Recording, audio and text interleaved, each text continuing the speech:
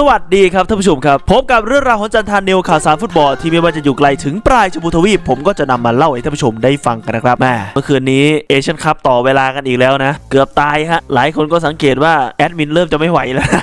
เออดีวันนี้เอเชียนคัพพักหนึ่งวันนะครับเรามาทำข่าวแบบเออสบายอกสบายใจกันดีกว่า เดี๋ยวค่อยมาสางกันต่อนะครับนอกจากเอเชียนคัพแล้วนะครับพรุ่งนี้ยังมีแมตช์ของ J.League Asia Challenge ระหว่างเซเรโซโอซาก้ากับ BG ปทุมนะครับเรามาดูอีกครั้งว่าการกลับมาของชนาทิพย์จะเป็นเช่นไร แล้วก็จะสามารถล้มทีมญี่ปุ่นทีมนี้ได้หรือเปล่าเอเชียนคัพก็มีทาจิกิสถานเจอจอแดนด้วยนะครับออสเตรเลียเจอเกาหลีใต้ด้วย เชื่อว่าสนุกกันทุกคู่ แต่วันนี้พักพอดีเราก็ได้หายใจหายคอกัน มาต่อกันที่เรื่องราวของทีมชาติไทยฮะนับว่าเป็นข่าวดประจำวันเลยก็ว่าได้ หลังจากที่ AFC ได้ประกาศนะครับนักเตะยอดเยี่ยมในรอบ 16 ทีมสุดท้าย ซึ่งอึ้งเหมือนกัน จริง ๆ AFC จะเลือกใครก็ได้ โดยเฉพาะทีมที่ชนะนะฮะแล้วครั้งนี้เขาก็เลือกนักเตะที่ชนะการแข่งขันมาทั้งนั้น แต่เหลือจะเชื่อว่าสุประโชคสารชาตินะครับไปติดอยู่ใน 1 ใน 11 ผู้เล่นของ AFC ในรอบนี้ครับนั่นเท่ากับว่าเป็นทีมที่พ่ายแพ้ทีมเดียว ที่ติดในรอบนี้ โดยผู้รักษาประตูครับฮยอนวูครับของเกาหลีที่ช่วยเซฟซาอุหลายดอกเหมือนกันเพราะว่าซาอุนี่ไม่ได้อ่อนกว่าเกาหลีเลยครับวันนั้นครับแต่วางแผนผิดพลาดนิดเดียว โดนครับมันชินี่ผู้รักษาประตูคนนี้ก็สำคัญที่ช่วยเซฟทีมเอาไว้ได้ รวมไปถึงจุดโทษด้วยนะครับ ในขณะที่กองหลังเนี่ยฮะของญี่ปุ่นติดหนึ่งออสเตรเลียนะฮะอิหร่านอิหร่านติดอยู่แล้วเพราะว่าอิหร่านเนี่ยเกมรับดีจัดฮะแม้จะเหลือ 10 คนกับซีเรียฮะ แต่ว่าเขายันอยู่สกอร์หนึ่งหนึ่งแล้วไปดวลจุดโทษชนะ คือผมดูแล้วควบคุมเกมดีมากๆนะสำหรับผู้เล่นคนนี้ คือสั่งการให้ปิดช่องทุกอย่าง นี่คือความต่างจริงๆนะสำหรับทีมระดับโลกกับทีมที่พยายามจะไต่ขึ้นไปอย่างซีเรีย จริงถ้าซีเรียปิดได้ในเกมมันก็จบแล้วนะฮะแต่เมื่อไม่ได้ก็ต้องยอมรับผลนะครับด้วยการแพ้จุดโทษไป ซึ่งอิหร่านก็ละเอียดกว่าเยอะนะในแง่ของจุดโทษ ในขณะที่ตรงกลางครับนะระบบ 3-4-3 เนี่ยก็มีของออสซี่ติดมาอีกหนึ่งคนนะครับเล่ครับของออสซี่ทาเคฟุเซอร์คูโบะครับร่วมประสานงานกับสุภโชคสารชาติครับ โอ้โห นี่ลูกปั่นโค้งของสุภโชคนี่มันแบบว่าสุดยอดจริงๆนะคือแล้วทุกคนสะอกสะใจอะแม้กระทั่งซูเกโนะที่ดูอยู่ที่ญี่ปุ่นนะฮะผู้รักษาประตูของซัปโปโรอะเขาก็ยังบอกว่าเฮ้ยเขาไม่เคยเห็น action นี้ของสุภโชคมาก่อน มันเป็น action ที่แบบคลั่งมากนะครับนั่นแสดงว่าเขามี passion ที่จะเล่นให้ทีมชาติจริงๆนะสู้เพื่อชาติจริง ๆ อนาคตเนี่ยไม่แน่สำหรับกัปตันทีมชาติไทยสุภโชคสารชาตินะหลังจากพี่เจ พี่มุ้ยพี่อุ้มผลัดใบไปเนี่ยจิตวิญญาณขนาดนี้นะฮะผมเชื่อว่าขับเคลื่อนทีมชาติไทยได้ของอุซเบก็ติดมาหนึ่งคนครับในขณะที่แดนหน้าเนี่ยเป็นอักรัมอาฟิฟนะฮะเล่นดีทุกนัดคนนี้ซาลาห์แห่งเอเชียของกาตาร์นะครับเป็นผู้สร้างสรรค์ทุกอย่างในเกมให้กับกาตาร์ถือว่าโดดเด่นมาก อันนี้ยอมรับเลยจริง ๆ ในฝีมือนะครับแล้วก็มีของญี่ปุ่นนะครับอุเอดะนะครับล็อกไปยิงเองเลย ในขณะที่อีกคนเนี่ยอันในมัดครับของจอแดนเบอร์สิบเอ็ดเล่นดีมากโค่นล้มอิรักมาแบบสุดยอดเลยนะฮะพร้อมกับดราม่าท่ากินข้าวนะฮะไม่รู้ว่าจะไปจกข้าวโชว์ไอสไตล์ของทาจิหรือเปล่า นั่นเท่ากับว่าสุภโชคเป็นหนึ่งเดียวในอาเซียนนะฮะแล้วก็หนึ่งเดียวในทีมที่พ่ายแพ้ที่เข้าตาของ AFC พลังของเขาที่ลงมาเนี่ยมันโอ้โหเปล่งประกายมากทีมชาติไทยเปลี่ยนเป็นคนละทีมเลย ถือว่าคนเดียวสองคนก็พลิกเกมได้นะครับภายใต้ระบบของมาซาทาดะอิชิอิเสียดายที่ไม่ได้เห็นเต็มเกม น่าจะประคองทุกอย่างได้ดีกว่านี้นะครับทั้งเรื่องเกมรุกเกมรับนะสุภโชคเนี่ยคือเกมรับก็มีความเข้าใจเกมสูง การวิ่งเวลาที่ไม่มีบอลนะทำให้เพื่อนเล่นง่าย คือทัศนคติของเขาเนี่ยมันเหมือนกับว่าจะพุ่งขึ้นไป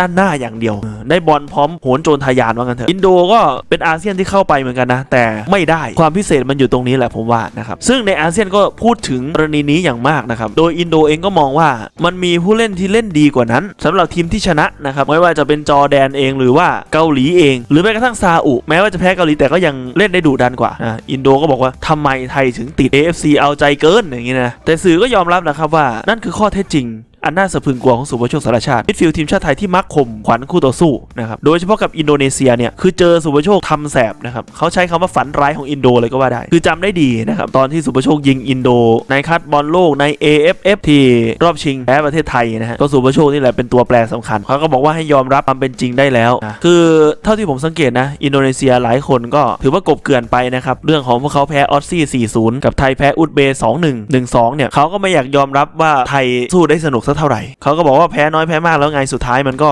ตกรอบเหมือนกันนะครับเนี่ยกลับกลายเป็นดีใจเฉยที่ตกรอบไปด้วยกันนะฮะประมาณว่า feel โล่งอกนะฮะที่ไทยตกรอบ เดี๋ยวจะยิ่งใหญ่จนเกินไปอะก็ว่ากันไปนะครับเดี๋ยวในอาเซียนก็เจอกันอยู่ดี แต่ว่าอินโดเนี่ยพวกครึ่งเสี้ยวเขาจะให้มาไหมล่ะเนี่ยมันไม่ใช่ FIFA Day เนี่ย AFF เนี่ยใช้นักเตะท้องถิ่นไม่ได้เล่นร่วมกันจะเป็นยังไงนะเนี่ยไม่รู้นะ เดี๋ยววัดกันเลยปลายปีนี้ ส่วนทั้งเวียดนามครับได้ออกมากล่าวถึงสุประโชคสารชาติใน ใจความที่เป็นไปในทิศทางบวกนะ คือแม้กระทั่งสื่อเวียดนามยังแซวอะว่าอยากให้ซิโก้นะครับที่อยู่ในคลับกงอันฮานอย ที่ร่ำรวยของเวียดนามเนี่ยนะดึงเขาเข้ามาวีลีกนะเพื่ออะไรเพื่อกระตุ้นให้วีลีกมีความคึกคักมากขึ้น เพราะเขายอมรับแล้วว่าสุภโชคเป็นนักเตะที่ดีที่สุดณตอนนี้นะโดยมีชาวเวียดนามมาคอมเมนต์จำนวนมากนะครับเนี่ยฮะอย่างเช่นคอมเมนต์นี้เขาบอกว่าถ้าเข้ามากองอันฮานอยเนี่ยมันจะเป็นการคุ้มค่าที่ได้ดูนะครับบางคนยังไม่รู้เรื่องครับบอกว่าอยู่ไทยลีกดีๆ จะไปเล่นบ่อของหมู่บ้านทำไมนะฮะก็เลยมีคนมาเตือนสติครับเดี๋ยวเขากำลังเล่นเจลีกนะเพื่อนๆ ไม่ใช่ไทยลีกนะเออจะดึงมาได้ไงนะคล้ายกับปี 2002 ถึง 2003 ที่มีนักเตะไทยมาค้าแข่งในเวียดนามหลายคนเนี่ยฮะผู้ชายคนนี้เล่นดีจริง ๆ ตัวเล็กและเก่งมากทำประตูได้ไวและคมไม่น้อยนะฮะนักเตะไทยยิ่งมากขึ้นเรื่อยๆ แล้วเวียดนามแพ้เกมมากขึ้นเรื่อยๆเนี่ยฮะชอบมากสุภโชคเล่นดีและฉลาดนะครับนับว่าเป็นเรื่องที่อึกระทึกคือโคมเลยทีเดียวนะครับทีมที่แพ้แต่ AFC เห็นความสำคัญนำมาติดทีมยอดเยี่ยม เรายังสร้างนักเตะดีๆหลายคนนะครับด้วยระบบลีกนะครับอย่างที่บอกหลายคนก็บอกทำไมเราไม่ทำดีมทีม เหมือนกับเวียดนามเออมันจะได้แบบรุ่นต่อรุ่น แข็งแกร่งเป็นรุ่นๆไปทำไมเราไม่โอนสัญชาติโน่นนี่นั่นนะครับเดิมทีเรามีระบบลีกนี่แหละคอยป้อนอยู่แล้วเราไปเห็นนักเตะดาวรุ่งฟอร์มดีๆในลีกเนี่ยเราสามารถหยิบขึ้นสู่ชุดใหญ่ได้เลย ไม่ต้องไปรอมาเอามาต่อยอดจากรุ่น U23 นะ ถึงจะดึงขึ้นมานะคือใครที่ฟอร์มโดดขึ้นมานะตรงนั้นปุ๊บดึงมาเลยเนี่ยยังวีระเทพเนี่ยเห็นไหมเขาก็ขึ้นชุดใหญ่ทันทีแต่นะครับถ้าถามถึงเรื่องศูนย์ฝึกแบบเวียดนามมีไหมเรากำลังจะมีนะครับตอนนี้ครับ คือเอาทุกรูปแบบเหมือนกันระบบลีกดี ศูนย์ฝึกก็มี ฉะนั้นเพียบพร้อม 100%แน่นอน เพราะวันนี้เปิดการเปิดงานไปแล้วสำหรับนายกสมาคมคนปัจจุบัน สมยศพุ่มพันธ์ม่วงนะครับ ศูนย์ฝึกนี้อยู่ในพื้นที่ร้อยไร่นะครับ เป็นศูนย์ฝึกเต็มระบบครั้งแรก ตั้งแต่มีสมาคมฟุตบอลแห่งประเทศไทยมา 108 ปี ซึ่งเรื่องนี้นะครับเราไม่ได้ทำเองครับ เพราะว่าทางฟีฟ่านะฮะเป็นคนจัดให้เหมือนกับที่เขาจัดให้เวียดนาม ก็คือควบคุมกำกับดูแลทุกขบวนการในการก่อสร้างศูนย์ฝึก แล้วก็จะพัฒนาเยาวชนเอาเด็กไปฝึกฟงฝึกที่นั่นซึ่งจะเป็นโครงการนะฮะครบวงจรมากๆ ในงบประมาณของฟีฟ่าที่จัดให้จะสร้างมิติรวมของฟุตบอลนะครับทั้งชายทั้งหญิงในทุกรุ่นอายุนี่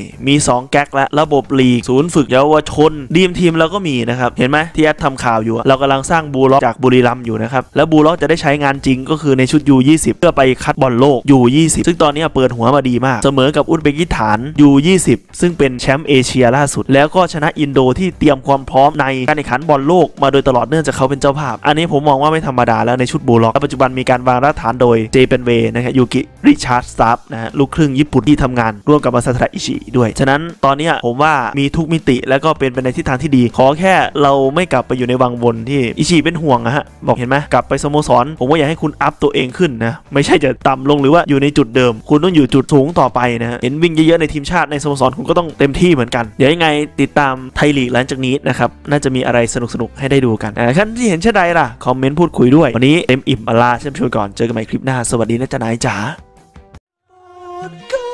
ไลค์กดซับสไครต์ให้ผมด้วยจ้าผมสีบอลและหมุดคนลา